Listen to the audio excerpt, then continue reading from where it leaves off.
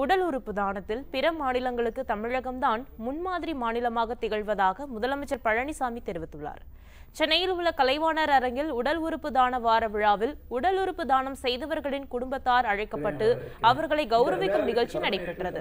இந்நிகழ்ச்சியில் கலந்து கொண்டு பேசிய முதலமைச்சர் பழனிசாமி உடல் உறுப்பு தானத்தில் பிற மாநிலங்களுக்கு தமிழகம்தான் முன்மாதிரி மாநிலமாக திகழ்வதாகவும் தேசிய அளவில் உடல் உறுப்பு தானத்தில் தமிழகம் முதலிடத்திலும் உள்ளதாகவும் தெரிவித்தார்.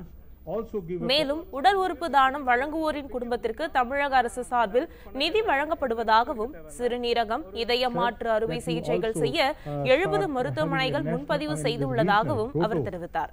ஆண்டிற்கு உடல் உறுப்பு மாற்று சிகிச்சைக்காக சுமார் பத்து லட்சம் பேர் பதிவு செய்து காத்திருப்பதாக முதலமைச்சர் பழனிசாமி தெரிவித்தார்.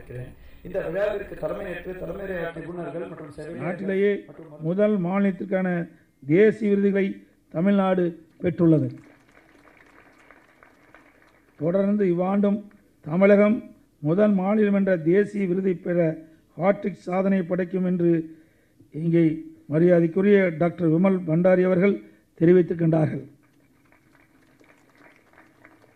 இங்கிலாந்திலிருந்து வெளியாகும் பிரிட்டிஷ் மெடிக்கல் ஜிர்சல் என்ற பத்திரிகை தமிழகத்தின் உடல் உறுப்பு தான செயல்பாடுகள் பிற நாடுகளுக்கும் பின்பற்றத்தக்கதாக உள்ளது என புகழாரம் சூட்டியுள்ளது.